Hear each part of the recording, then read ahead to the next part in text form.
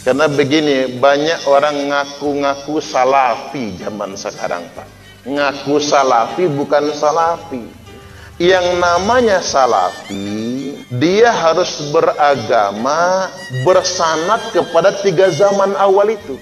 Jadi sebenarnya yang salafi itu Pak pengikut Imam Syafi'i, pengikut Imam Maliki, pengikut Imam Hambali, pengikut Imam Hanafi, tapi banyak zaman sekarang ngaku-ngaku salafi, tapi nggak pakai empat madhab, malah tidak bermadhab, malah yang diikuti al-albani. Mana salah itu?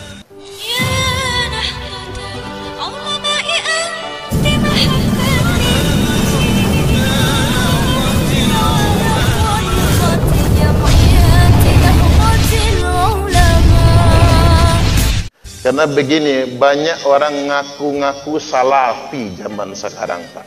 Ngaku salafi bukan salafi. Ini saya harus koreksi.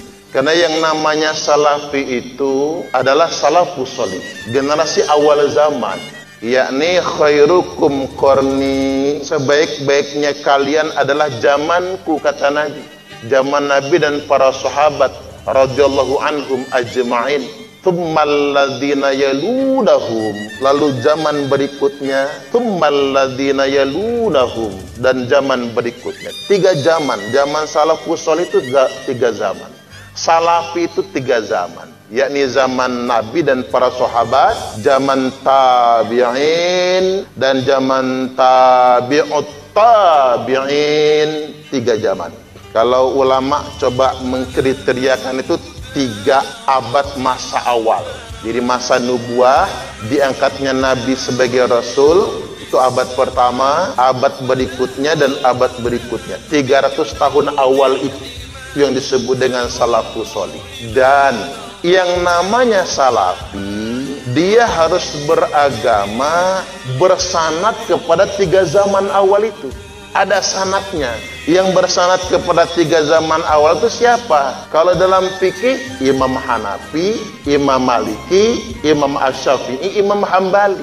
Jadi sebenarnya yang salafi itu Pak pengikut Imam Syafi'i pengikut Imam Maliki pengikut Imam Hambali pengikut Imam Hanafi. Tapi banyak zaman sekarang ngaku-ngaku salafi tapi nggak pakai empat madhab malah tidak bermadhab ini saya mau terang-terangan, mau belak-belakan soalnya. Orang ngaku salafi tapi tidak bermadhab. Mana yang diikuti Al-Albani. Mana salah itu? Al-Albani itu baru meninggal tahun 1999. Setahun pasca reformasi. Masih sejaman sama kita. Jangankan sama kita, kalau sama kita iyalah Pak, pintaran beliau. Bandingkan sama Kiai Haji Hasim As'ari. Jauh, keilmuannya juga jauh. Kiai Haji Hasim Asar itu gelarnya Hadratus Syekh, hafal Quran 30 juz, hafal Sahih Bukhari, Sahih Muslim, Sunan At-Tirmidzi, Sunan An-Nasai, Sunan Ibnu Majah, yang keenam Sunan Abi Dawud. Eh, kalau kita hafalnya Sunan Kalijogo, Sunan Bonang, minggir dikit Kalijodo Jakarta, Pak. Ini beliau hafal enam kitab Hindu. Maksudnya begini, orang ngaku salafi tapi anti madhab itu salah. Dia bohong bukan salafi dia talafi karena ulama tabiin sebenarnya siapa? Imam Hanafi lah Imam Malik Imam Syafi'i Imam Hambali. Bukan ngikut Al-Albani. Al-Albani ulama akhir zaman. Ini rujukannya Al-Albani Abdullah bin Bas Al-Usaimin. Ulama zaman sekarang semua kalau kita enak Imam Syafi'i Imam Hanafi Imam Maliki, Imam Hambali dan lain sebagainya. Dan saya heran juga orang ngaku salafi tapi ngoreksi fatwa-fatwa Imam Madhab. Ngaku salafi tapi tarawihnya 11 rakaat. Gak pas itu, Pak. Karena kalau salafi tarawih itu 20 rakaat. Sahabat itu tarawihnya 20 rakaat semua. Zaman Umar 20 rakaat, zaman Utsman 20 rakaat, zaman Ali 20 rakaat, Imam Hanafi 20 rakaat, Imam Maliki 36 rakaat, Imam Syafi'i 20 rakaat, Imam Hambali 20 rakaat. Yang 11 rakaat Imam Samudra. Tapi boleh saya nggak nyalahin yang 11 gitu, Pak. Karena orang Bandar Lampung ini malas-malas lah sebetulnya. Ini diajak taraweh 23 rakaat bubar gitu. Tapi maksud saya yang 11 rakaat itu nggak usah membid'ah-bid'ahkan yang 20 rakaat gitu.